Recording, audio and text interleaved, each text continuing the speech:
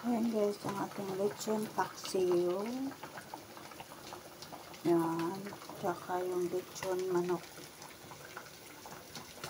Yan. Lechon paksiyo at lechon manok.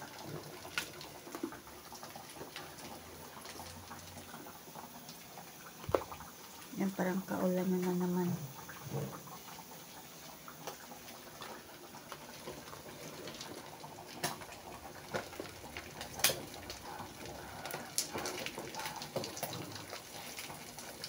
Lang sa kawali inilit para maano siya mapwesto ba.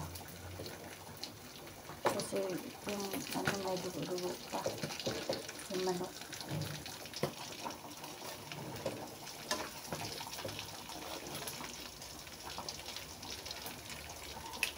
Pero hindi na natin siya i-crispy talaga.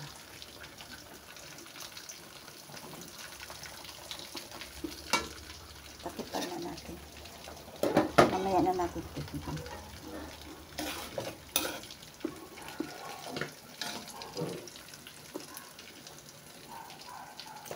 Ayan guys, thank you for watching.